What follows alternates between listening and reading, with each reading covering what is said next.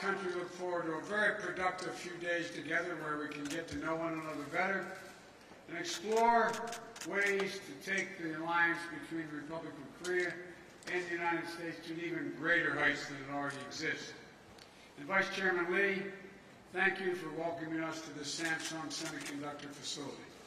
This is an auspicious start to my visit because it's emblematic of the future cooperation and innovation that our nations can and must build together. I'm joined by my Secretary of Commerce, Secretary Raimondo is here in the front row, who's working every day to bring us closer to that goal. I've just seen how this plant makes the most advanced semiconductor chips in the world. They're a wonder of innovation in design, precision, and manufacturing. Semiconductors power our economies and enable our modern lives, automobiles to our smartphones to medical diagnostic equipment.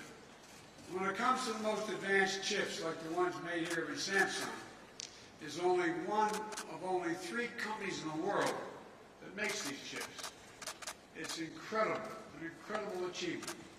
Because these little chips, only a few nanometers thick, are the key to propelling us into the next era of humanity's technological development. Artificial intelligence, quantum technologies, 5G, and so very much more, things we haven't even thought of at this point.